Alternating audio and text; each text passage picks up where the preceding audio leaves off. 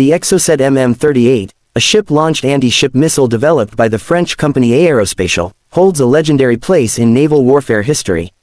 Introduced in the early 1970s, this missile quickly became one of the most respected and widely exported weapons of its kind.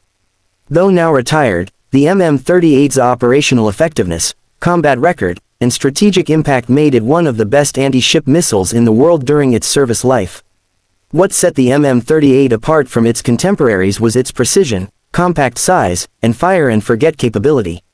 Weighing about 735 kilograms and measuring approximately 5.1 meters in length, the missile was relatively small and easy to install on a wide variety of naval vessels.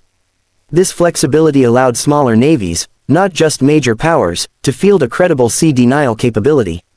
With a range of roughly 42 kilometers, the MM-38 was designed for coastal defense and medium-range engagements, giving ships the ability to strike enemy vessels before coming within gun range. Powered by a solid propellant booster for launch and a turbojet engine for cruising, the missile maintained subsonic speeds while flying just a few meters above the sea. This sea-skimming flight path made it incredibly hard to detect and intercept, especially for ships with outdated radar or limited electronic warfare systems. The guidance system was a combination of inertial navigation for mid-course and active radar homing for terminal guidance. This enabled the missile to autonomously track and home in on its target in the final phase, even in cluttered maritime environments. The warhead of the MM-38 weighed around 165 kilograms, consisting of a high explosive fragmentation charge designed to penetrate the hulls of ships and detonate inside, maximizing damage. Upon impact, the warhead could cause catastrophic internal destruction, fires, and potentially lead to the sinking of the target vessel. This made the MM-38 a credible threat to destroyers, frigates, and even larger capital ships if multiple missiles were employed in a saturation attack.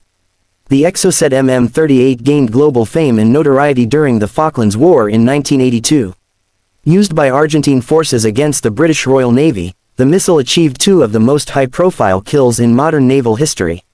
The British destroyer HMS Sheffield was struck by an Exocet, resulting in the ship eventually sinking due to fire damage and loss of control. Days later, the missile was used again in a strike on the merchant ship Atlantic Conveyor, which was transporting critical helicopters and supplies for British ground forces.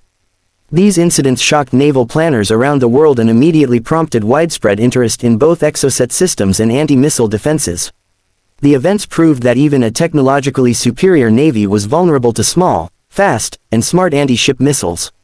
Following the Falklands, many countries reassessed their ship defense systems, and several NATO and non-NATO countries began investing heavily in countermeasures such as close-in weapon systems CIWS, electronic jamming equipment, and decoy launchers. Ironically, this enhanced the strategic value of the MM-38 and its successors because it triggered a global arms race in naval missile warfare. The missile's psychological impact was as powerful as its kinetic damage, proving that missiles like the MM-38 could shift the balance in naval conflict scenarios. The M38 was eventually replaced by newer and more capable variants like the MM40 Exocet, which extended range, improved electronics, and introduced land attack capability. Nevertheless, the MM38 served reliably across several decades with over 25 navies, proving its worth in diverse operational conditions from the Atlantic to the Pacific, and from calm waters to high-tension war zones. Its modularity and ease of integration allowed it to be mounted on various classes of ships, including patrol boats, corvettes, and frigates.